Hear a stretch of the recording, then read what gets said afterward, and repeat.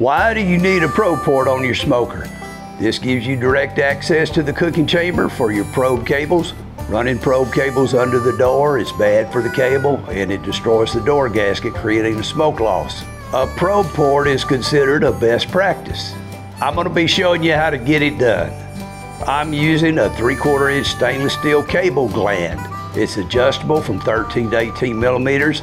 Now, three quarter may sound like it's pretty big, but the issue with a lot of probes, they're just designed with some very wide parts. So one end of the probe cable, it must pass through the probe port, and therefore a small port just doesn't work for a lot of probe designs. So of course, your mileage may vary.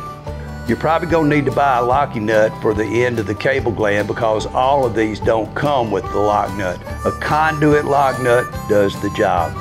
As I previously mentioned, I use stainless steel. Plastic would probably not be a good choice because of the high temperatures. You can mount it wherever you like, but considering that the firebox end is so much hotter, I chose to put it on the stack end of my smoker. Now mark the spot with the center punch. I used a 25 millimeter hole drill bit, drilling through a quarter inch steel. Now the 25 millimeter hole was a little bit small, so I dressed it up with a step drill bit. In my case, it had such a snug fit that I could have got by without using that locking nut, but I decided I got it, so I'm gonna use it anyway. That's what it looks like. The cable glands that I bought from Amazon, they ship in a package of two. So I modified the existing probe port on my Yoder YS 1500 by using one of these cable glands.